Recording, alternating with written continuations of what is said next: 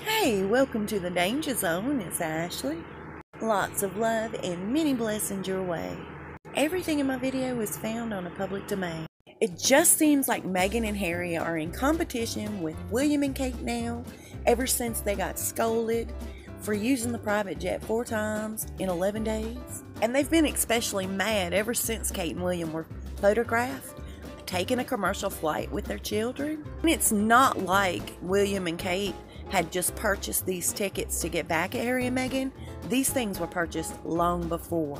Harry and Meghan boarded the first of four flights in 11 days using a private jet.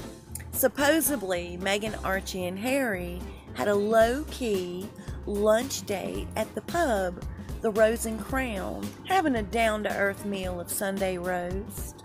Their meals were right around $18 and some change a plate. She, of course, was sucking on water.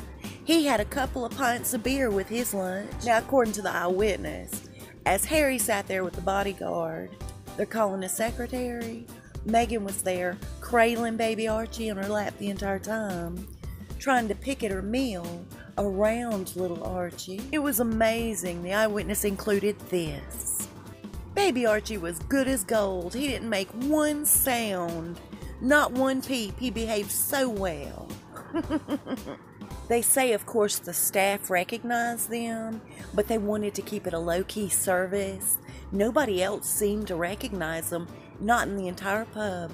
What a crock, you guys. Let me tell you something. Thank you to Sweet Kay and also my buddy Trish for sending me this so fast.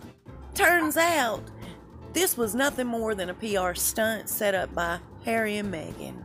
So, a very popular media site contacted the Rose and Crown. They wanted details. They wanted to know why they they weren't even photographed. And guess what, you guys? The Rose and Crown said, "We don't know what you're talking about. They weren't here." Eh, eh, eh. Busted. Is that not gross, y'all? I'll see you soon, and we'll talk fast. Stay safe and be blessed.